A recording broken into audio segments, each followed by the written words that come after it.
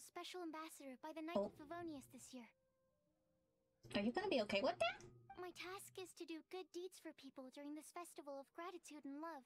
Oh, Nice one! So how did they decide who to appoint anyway? yeah. They spun an empty bottle donated by inside a circle with names on it. Whoever's name the bottle stopped at got chosen. Spin bottle to see who has to be in charge of the festival. I bet it was rigged. I bet you it was rigged.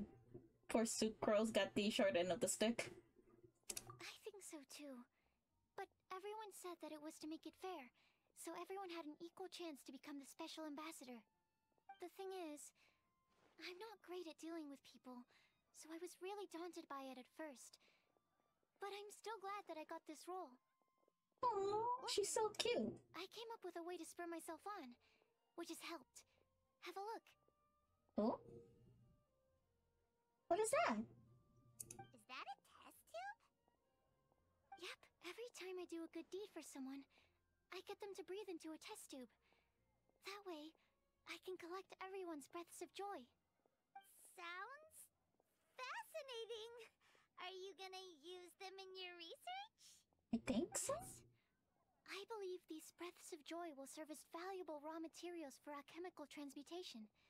With any luck, I'll be able to produce something truly miraculous. I think that's kind of cool. Cause like the, what the moment she said breath of joy and and there's the whole transmutation type of thing, it makes me think of breath of life. so who knows? Maybe we'll be having tiny little golems running around like cute little helpers. That's adorable.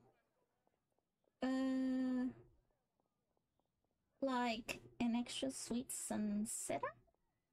Mmm. Darn, Paimon's hungry. Wait, you're doing this on purpose, aren't you? Maybe.